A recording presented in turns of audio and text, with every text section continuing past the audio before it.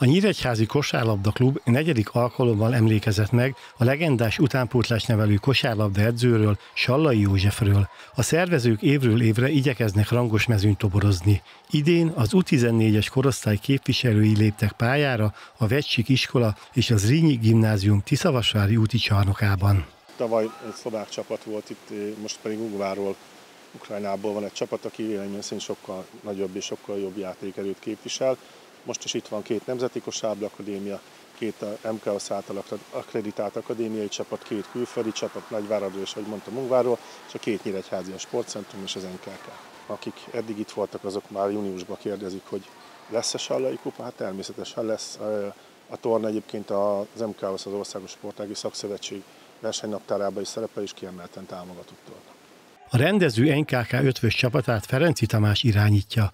A szakember szerint fontos felkészülési állomás volt számukra a torna, amelyen eddigi legjobb helyezésüket érték el. A célunk az az volt, hogy a selejtező előtt, illetve az előselejtezőt, amit majd szeptember 7-én, 8-án fogunk vívni, játszunk erős ellenfelek ellen felkészülési mérkőzéseket.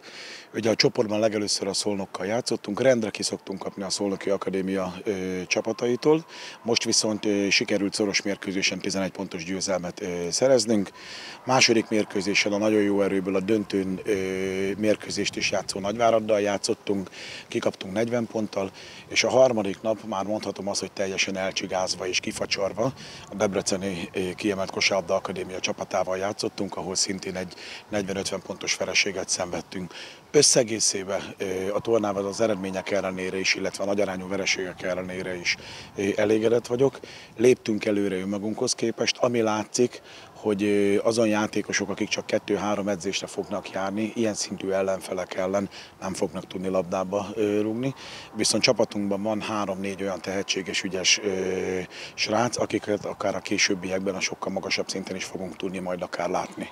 Vinnai győző Sallai József emlékének ápolása mellett az utánpótlás nevelés fontosságára hívta fel a figyelmet a torna kapcsán. Ez egy nagyon komoly torna, hogy láttam a mérkőzésen is, az edzők is, a játékosok is komolyan veszik, és én azt fogalmazom meg, hogy jó, hogyha mozognak a fiatalok, jó, hogyha a csapasportok irányába mozdulnak el, és ez az utánpótlás jelentheti majd a felnőtt csapatoknak azt, hogy Nyíregyházának minél több elsőligás NB1-es csapata legyen, így a kosárlabdában is. A tornát végül a Vasas Akadémia nyerte, miután a döntőben 82-69-re legyőzte a romániai Nagyvárad csapatát.